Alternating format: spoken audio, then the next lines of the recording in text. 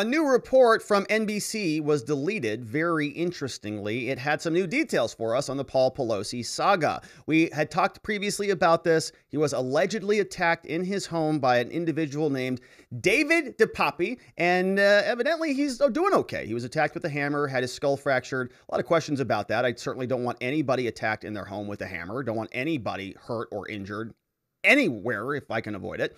And we considered all of that, waited for the story to percolate and bubble up a little bit more, and now there's more questions about it, especially when NBC when NBC reports new information and then suddenly deletes it. I want to show you this video, but before we do, here is the backstory on what actually happened because it's it's it's not that interesting if they leave it up. It's more interesting if they delete it and then they sort of put up a different version. Let's take a look at what's going on here. NBC deletes a report on the Pelosi attack from its website. They say they did it because of reporting standards. Mm. Suddenly, those matter, and they need to exercise them to keep their content clean. NBC deleted the story about Paul Pelosi from the Today Show webpage because it fell below their ethical and standard thresholds. It was about David DePape breaking in. The video was deleted and the story was appended. Here's what the story said. Paul Pelosi was released from the hospital six days after the intruder attack. Paul Pelosi was released with a fractured skull. Editor's note. The piece should not have aired because it did not meet NBC News reporting standards. Oh, that's weird. The report featured several asides that appeared to call unnecessarily into question certain aspects of the incident, some of it coming from ambiguous sources. A source with knowledge of the story told Mediaite that the segment was removed because the main source was unreliable, they said. They couldn't see how far away the attacker was from the door. All right, so that's what the source is and they decided to change it. And it sounds like a perfectly good reason, doesn't it? Well, let's watch the video and we can see for ourselves. NBC News deleted this video. It has new details on the Paul Pelosi alleged attack. People are asking, what was problematic about this? Why did it have to come off the air? Good morning. When officers arrived here at the Pelosi home exactly a week ago today, they initially didn't have any idea exactly what was going on. They knew they had a high priority call on their okay. hand. What was unclear, what was happening inside the property just behind me. This morning, Paul Pelosi is home, back at the house that became a crime scene a week ago today.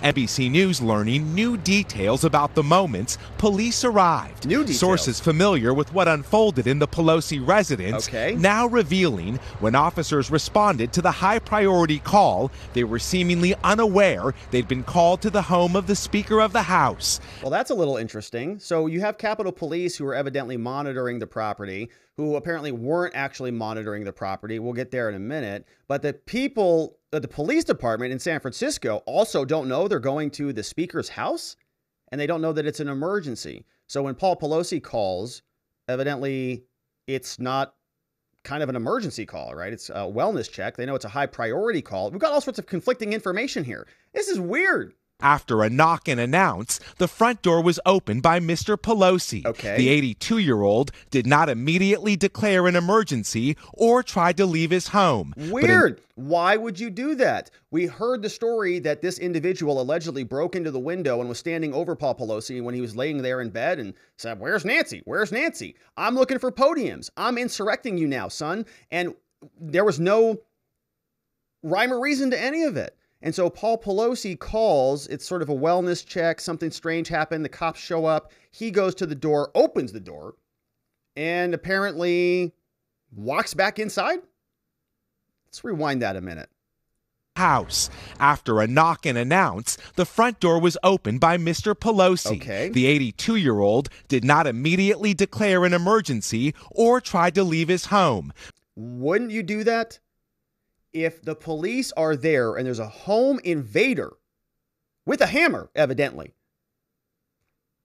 you open the door, you go out to the police. Holy moly, thank you, officers. I cannot believe you're here. Thank you for saving me. He says, No, uh, everything's good. Come on in but instead began walking several feet back into the foyer toward the assailant what? and away from police. It's unclear if the 82 year old was already injured or what his mental state was, say sources.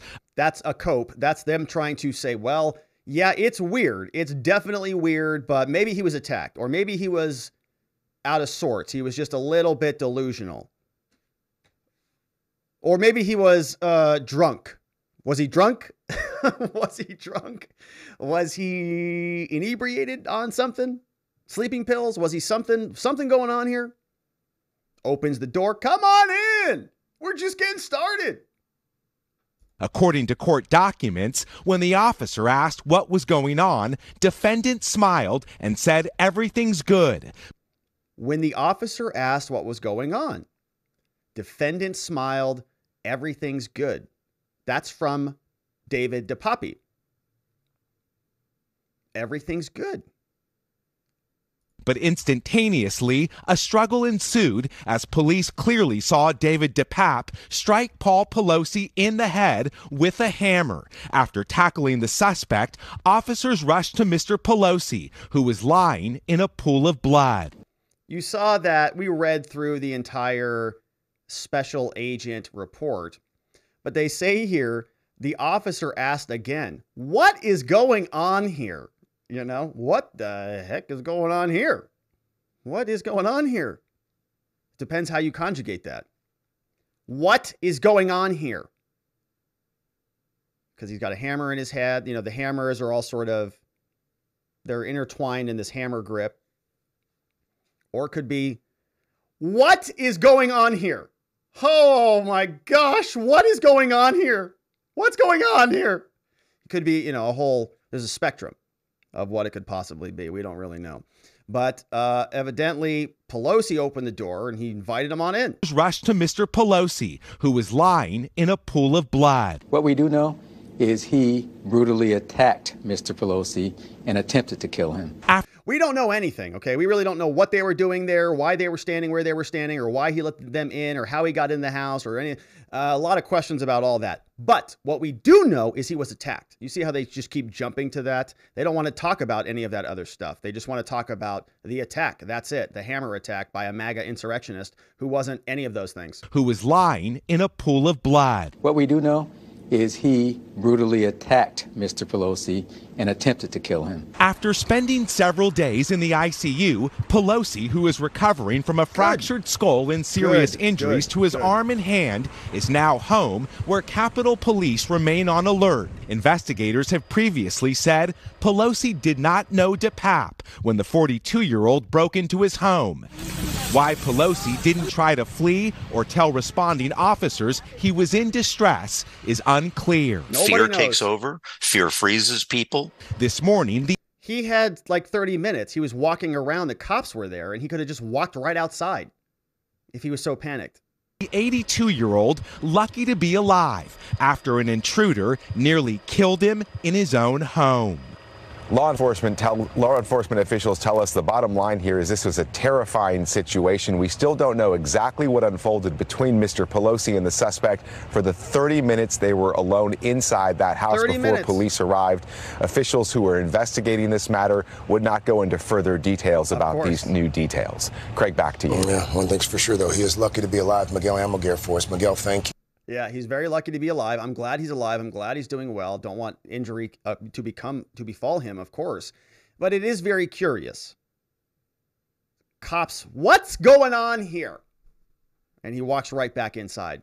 Very strange. So NBC deleted that story. Apparently, that story fell below their ethical standards or their their standards in general. And it seemed like it was pretty well put together. It seems like somebody put a lot of effort into that story, and they weren't just sort of uh, throwing something at the wall to see what sticks. They presumably talked to somebody who seems like they maybe knew something about what actually happened.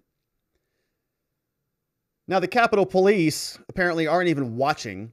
The Paul Pelosi attack has inspired the Capitol Police, hopefully, to do their jobs. The Washington Post is reporting that they weren't even watching the security cameras when the raid, invasion, alleged assault, insurrection 3.0, whatever took place. Washington Post reports that inside the command center at the U.S. Capitol Police, a handful of officers were going through their routines early on Friday morning. They were cycling through live feeds of the department's 1,800 cameras. You know, there's so many of them, they're very busy. At the nearby Capitol complex, on screen showed a darkened street nearly 3,000 miles away outside the house of Nancy Pelosi. An officer in D.C. quickly pulled up additional camera angles from around Pelosi's home and began to backtrack, watching recordings from the minutes before San Francisco police arrived. There on camera was a man with a hammer breaking a glass panel and entering the speaker's home. People familiar with this learned of the break in and they were briefed and viewed the video themselves. But the 911 call came in first. They struggled inside the home, attempted kidnapping, alleged kidnapping took place. But if the Capitol Police were going to stop an attack at the home of any member of Congress, they had perhaps the best chance to do it at Pelosi's. According to several current and former law enforcement officials, many of whom spoke on condition of anonymity, the Capitol Police installed cameras around Pelosi's home more than eight years ago. She has an around the clock security detail, okay? For many months after the attack, San Francisco police cruisers sat outside of her home day and night after January 6. But hours after Pelosi left San Francisco, much of the security left with her. Oh, yeah. Yeah, they just uh, left. Officers in Washington stopped continuously monitoring the video feeds outside her house. Targeted security and lack of full time active surveillance, even at the home of member of Congress, the Speaker of the House, okay? The Speaker of the House. It's not just like some new member of Congress, okay? It's not AOC we're talking about here. It is the Speaker of the House. Their family, security officials, they've tried to you know, get this implemented. Capitol Police have been working to implement more than 100 security improvements outside of different houses. In a statement on Tuesday, that it's gonna they need more money. They need more security. I mean it's like it's like amazing. Okay. So you know it's weird. It's weird. Like the cameras aren't on when you need them the most you know epstein something happened with him you know uh, cameras were off very strange all of those tens of thousands of hours of footage that we want from january 6th all those all it's gone where's all that gone oh yeah all the footage from all of these san francisco police officers all of these uh, uh, security videos that could easily put all of this to bed. All of it is gone. Very strange. Yeah. Why do we even have cameras for? What's the point? Don't even need them because there's never any footage. Ridiculous. All right. So we now know that they need more money. That's probably the problem. Capitol Police couldn't protect the Capitol or Nancy Pelosi's house because mm, just not, don't have enough money. Probably need a few billion dollars more from the American people. Shouldn't be a problem. We've got plenty. Capitol Police Chief pushes for, quote, more resources after Paul Pelosi's assault. He says, uh, We believe that today's political climate calls for more resources, yeah, to provide additional layers of physical security for members of Congress. This guy's name is Capitol Police Chief Tom Manger. He said it in a statement. He says that this plan would include an emphasis on adding additional redundancies to the measures that are already in place for the congressional leadership. He declined to disclose further details about the improvements. He said this could it, it, expose ourselves to risks from bad actors. All this, of course, emanates from the David DePape attack. He said, We're developing options from which a request will be made. We're exploring every option, it says Chuck Schumer and they're going to try to cram through a big fat bill that we're all going to have to pay for. Probably going to create a bunch of additional capital agencies, capital police agencies, or uh, departments all across America. Total joke. Now, this also was a very interesting tweet from John Cardillo. He's on Twitter and he says, with his red circles, that they are lying about everything. He says, This is the camera that you can see on Paul Pelosi's mansion. You see it right there, circled in red.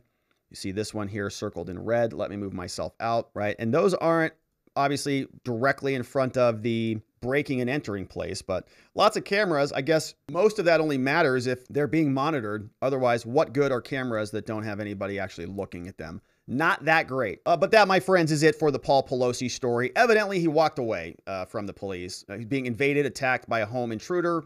Police are there. Come on in. Let's go sit down and have some coffee.